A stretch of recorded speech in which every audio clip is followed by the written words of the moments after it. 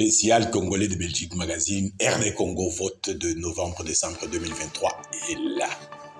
À la une, présidentielle congolaise, Félix Tshisekedi, trop fort Une analyse très intéressante à lire.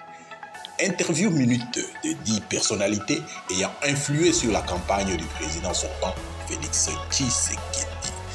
Législative nationale et provinciale congolaise, qu'est-ce qui fait courir les candidats? Opposition, quel résultat pour quel candidat? Grand Bandundu, Rigobert Kouta mobilise pour Fachi. Communal, un écrivain candidat à Barumbu dans la capitale Kinshasa. Droits de l'homme, le grand défenseur congolais des droits de l'homme Paul Sapou et le CNDH mobiliseront des milliers d'observateurs pour les élections congolaises. Électrification en milieu rural. Cyprien Moussimar imprime sa marque à Lancer. Livre.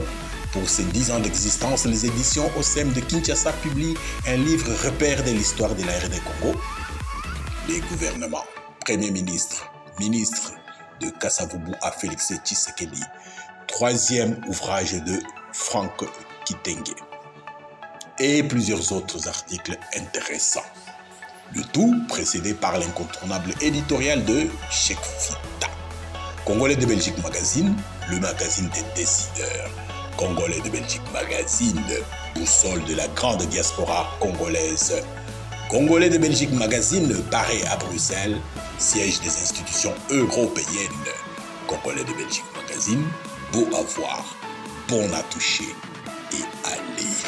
Congolais de Belgique Magazine, sorti à Bruxelles le 15 décembre, cinq jours avant les élections congolaises, à Paris et Kinshasa à partir du 16. Congolais de Belgique Magazine, une référence.